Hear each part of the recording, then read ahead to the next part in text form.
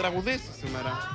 Χαμός. Ο Θοδωρής το ξέρει; Όχι. Λυπάμαι που λείπει η Ελεονόρα γιατί πραγματικά Α, εδώ είμαι. είναι η μόνη που μπορεί να με συναγωνιστεί. Να σου πω κάτι, ο Θοδωρής ξέρει ότι άλλη μια, θα υπάρχει άλλο ένα άτομο στην οικογένεια που θα τραγουδάει; Όχι, μου απαγορεύει να τραγουδάω. Α, Με έχει απειλήσει με διαζύγιο κατά καιρούς. α, αυτό σημαίνει πολλά για μας που θα σε ακούσουμε. Ναι, σημαίνει πολλά. Είμαι πάρα πολύ παράφωνη, αλλά έχω σκηνική παρουσία. Θα κάνω τέτοια. Οπότε θα κερδίσω την κριτική επιτροπή με τον πρίο μου. Ε, Θέλω να μου σχολιάσεις μια δήλωση του Βαγγέλη Περί. Ε, Μα πραγματικά δηλαδή. πες. Ε, Για περί, πες. περί, Δεν- δεν περί ξέρω, χημείας ποια του δήλωση. πρωινού. Το πρωινό μου είναι μια πολύ πετυχημένη εκπομπή και δεν το αμφισβητεί κανείς αυτό και δεν το αμφισβητούσαμε ούτε στην αρχή της σεζόν. Ξέραμε ότι έχουμε να κάνουμε με ένα πολύ δυνατό συναγωνιστή ε, και το λέγαμε κι εμείς. Από εκεί και πέρα, τι να σου πω γιατί, για το σχόλιο τώρα του Βαγγέλη, με ρωτάς. Αν Για σε μένα ενόχλησε. τι πιστεύω; Όχι, ο Βαγγέλης είναι ένας άνθρωπος που λέει τη γνώμη του πολύ ανοιχτά, που εκτιμώ πολύ, έχω δουλέψει μαζί του ε, και που θα πει τη γνώμη του έτσι όπως θα την πει σε μένα προσωπικά, έτσι θα την εκφράσει και δημοσίως. Οπότε επειδή είναι μέσα στους ανθρώπους που εκτιμώ πολύ, θα ακούσω τι έχει να μου πει και για μένα σημασία δεν έχει τι θα πει κα- μια δήλωση που θα κάνει δημόσια, τι θα μου πει τη στιγμή που θα βρεθούμε μεταξύ μας τέτα τέτ. Ούτε φαντάζομαι η δήλωση του κ. Λάτσικου στον νόμο. Όχι βέβαια, τι να με ενοχλήσει.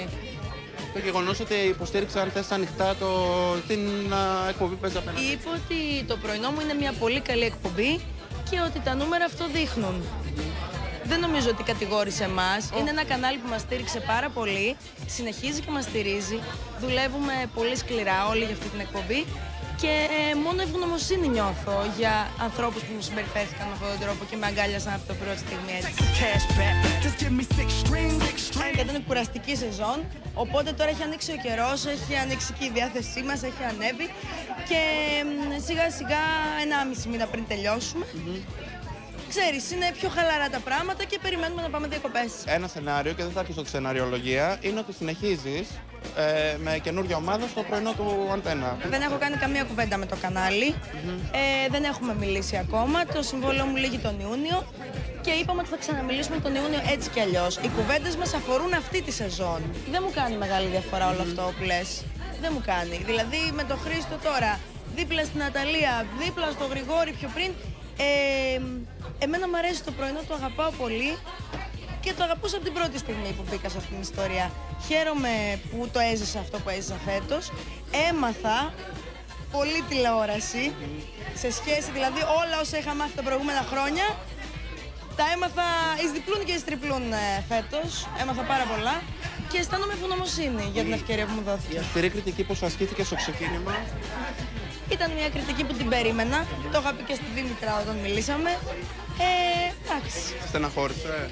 Με στεναχώρησε και πολλές φορές, ε, ειδικά στην αρχή, με πήρε από κάτω, ξέρεις, στεναχωριόμουν. Αλλά μ, με βοήθησε κιόλας. Δεν με στεναχώρησε μόνο. Δηλαδή, υπήρχαν άνθρωποι που ήταν σκληροί μαζί μου, με κάναν όμως να δω πράγματα, ε, με κάναν να διορθωθώ, να αλλάξω και αυτούς τους ανθρώπους τους εκτιμώ. Κάποιες άλλες κριτικές που αισθάνομαι ότι δεν γίνονται αντικειμενικά ή ότι είναι κακόβουλες, δεν τις υπολογίζω. Μια φορά σε είδα μόνο να βγαίνεις έξω από τα ρούχα σου στην ε, κριτική που, στη- μάλλον στα δημοσιεύματα που αφορούσαν την προσωπική σου ζωή. Ναι. Εκεί σε είδα πραγματικά πλέον να μ, ένιωθα μάλλον ότι ήθελες να βάλεις φρένο. Όχι, είναι πολύ διαφορετικό. Θεωρώ ότι είναι στα πλαίσια της δουλειάς μας να δεχόμαστε κριτική για τη δουλειά μας, σαφώς. Και όχι να τη δεχόμαστε. Απλά σου λέω, εμένα με βοηθάει και με εξελίσσει και με πάει ένα βήμα μπροστά πάρα πολλές φορές.